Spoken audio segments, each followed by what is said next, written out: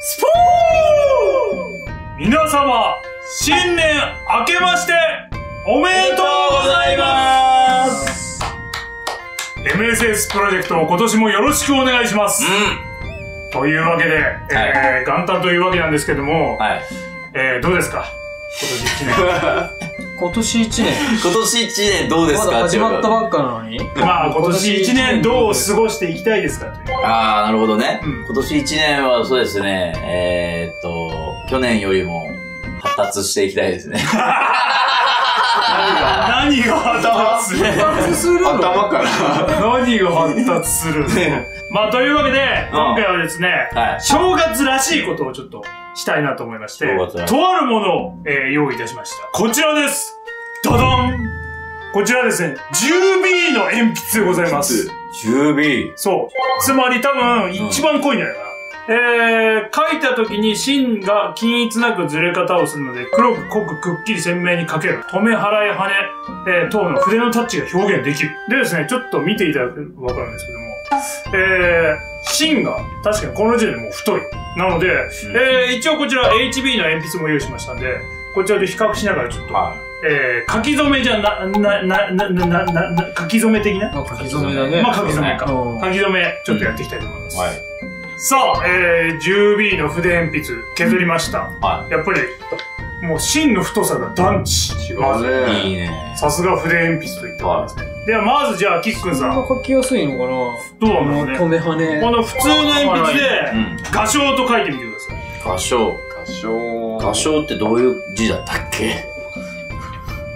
一言言うぞ。か、うん俺も知らん。えかに、かに口に、かい。かいよね。それはわかる。正しい。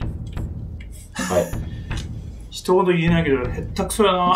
いや、今適当に書いてあ まあまあまあまあまあ、はい画章。る。はい。これが普通の鉛筆で書いてある結果。では、こちら。はい。ちょっと、では、力強く書いてください。終わりました。なんで並べるように書く、なんか書かなかった確かにね。並べるように。比較できない。ああ、確かに。下手くそかよ。横に書いてみますか、じゃ。あ。ああ、濃いあ、全然濃さが違めっう。ちゃ濃いおお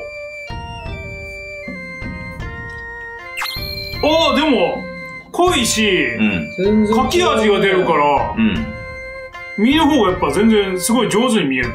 いや、結まあ、構上手に書いて上手 あこれええんちゃうの？る。本当に？ちょ、おへ前、ー字下手な代表として書いてよ。わかった。じゃあいきますよ。うん。はい。これが俺の。歌唱はい。うんで、これをものす、こっちで書くとどうなるか。うん。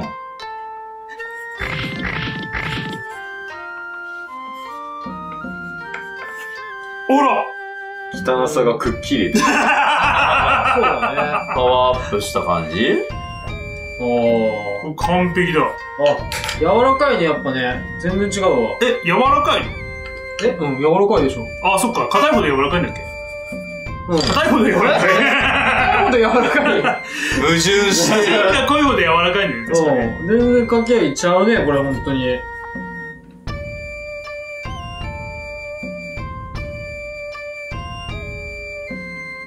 それいる？